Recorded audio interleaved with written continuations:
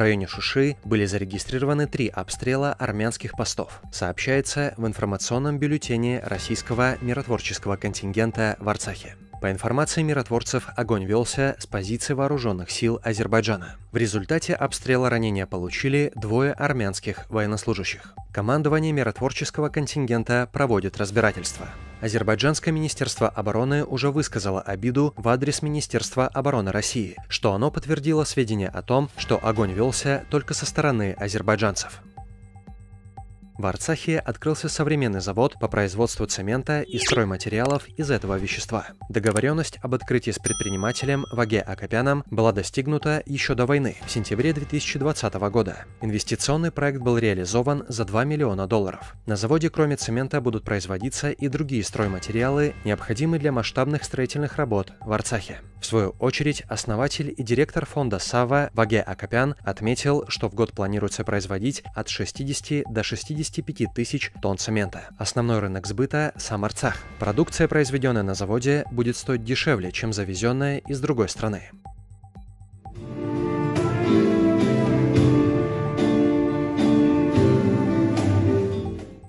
В Степанакерте в отеле «Европа» прошел благотворительный концерт «Мы будем жить» с участием ансамбля Арцахи Кнер, Арто Тунчбоя Джана, Шушан Петросян, Нарайра Карташьяна, Карена Мамиканяна, Григора Давтяна.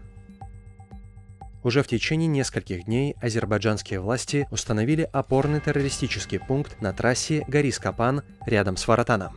Чем занимаются бандиты с опорного пункта? Первое – взимают с водителей иранских грузовиков деньги за проезд на свое усмотрение. С кого-то 100 долларов, с кого-то 350.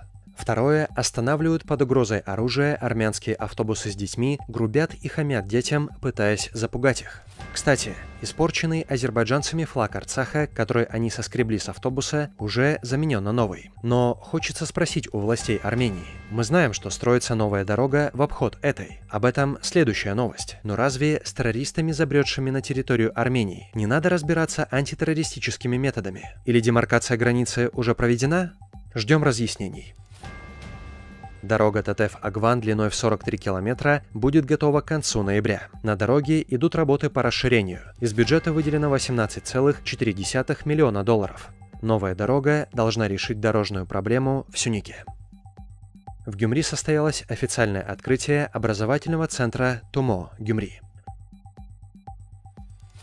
В Армении 1009 начинающих технологических компаний получили налоговые льготы – Товарооборот между Арменией и Россией в первом полугодии 2021 года составил 1,9 миллиарда долларов. Рост составил 17,2%. Депутаты Затулин и Милонов победили в своих округах и прошли в новый созыв Государственной Думы России. Поздравляем Константина Федоровича и Виталия Валентиновича с победой! В Ереване достраивается новый мост Аргаван-Ширак через реку Раздан. Это будет пятый по размерам мост столицы. Длина моста составит 252 метра, а ширина 28 метров. 70% работ уже завершены, и через несколько месяцев мост должен быть сдан в эксплуатацию. Работы в лаборатории искусственного интеллекта в Ереванском государственном университете уже начались. Организаторы лаборатории уверены, что через год появятся первые опубликованные статьи, а через несколько лет это будет одна из лучших научных школ мира в этом направлении. Радио Хайк. Голос армянской диаспоры. Армянская музыка, новости Армении и Арцаха. Скачивай бесплатное приложение Радио Хайк в App Store и Google Play и оставайся на армянской волне. Хайпост и мэрия Еревана в сотрудничестве предлагают жителям столицы новую услугу. Хайпост сообщает, что новая услуга позволит в отделении почты более удобным и доступным способом информировать клиентов о земельном налоге, налоге на имущество, долгах за вывоз мусора за все года в любом отделении почты.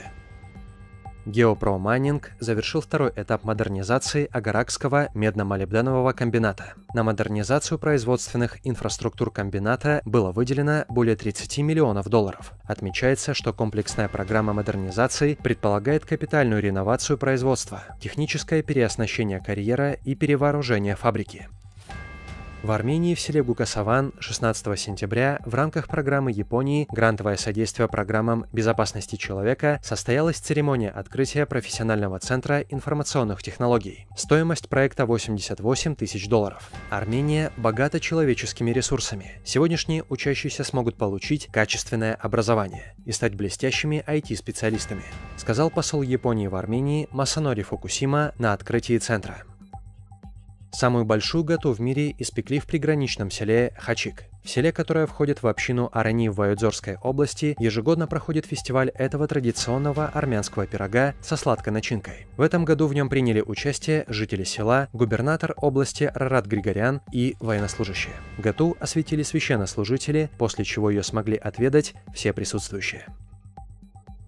Иран, раздраженный поведением Азербайджана на дорогах Сюника, проводит учения вдоль всей линии границы в районе Аракса. От города Джуга, что граничит с оккупированным Нахидживаном, до иранского города Асландус, граничащий с оккупированным югом Арцаха.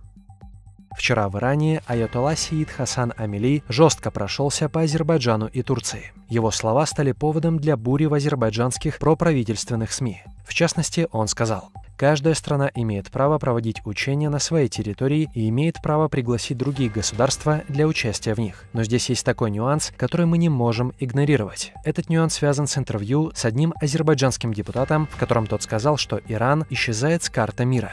Если сейчас не только Азербайджан, но и Турция не хотят добрососедских отношений, то прошу Совет национальной безопасности разрешить нашему корпусу стражей исламской революции продемонстрировать мощь Ирана по эту сторону границы. А Азербайджану я хочу сказать, если вы, азербайджанцы, хотите взять деньги у Израиля, идите и берите. Пусть Бог примет это. Я знаю, что и посол Израиля слушает мои слова. Я ему хочу сказать, что пусть платят им хорошие деньги, потому что они продали вам свое достоинство, честь, свободу и свои корни. Позаботьтесь о них. Они азербайджанцы, бедные, заключил Амели. В Турции возбуждено уголовное дело в отношении правозащитника, признающего геноцид армян. Генеральная прокуратура Аданы начала расследование в отношении Якупа Аташа. По словам Аташа, цель расследования в отношении него – запугать правозащитников. Это расследование против меня и всех правозащитников, сказал Аташ. В свою очередь, мы благодарим Якупа Аташа за честность и мужество.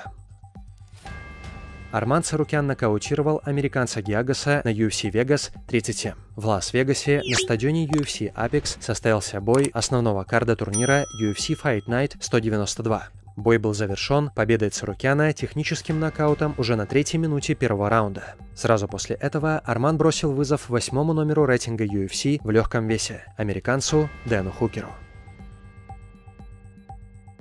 Армянский боксер Армен Машакарян одержал победу над азербайджанским спортсменом Саркханом Алиевым. Поединок состоялся в рамках 58-го чемпионата мира по боксу среди военнослужащих в Москве. Армянский спортсмен выиграл со счетом 3-2 в весовой категории 69 килограмм. После боя азербайджанец отказался от традиционного рукопожатия и покинул ринг.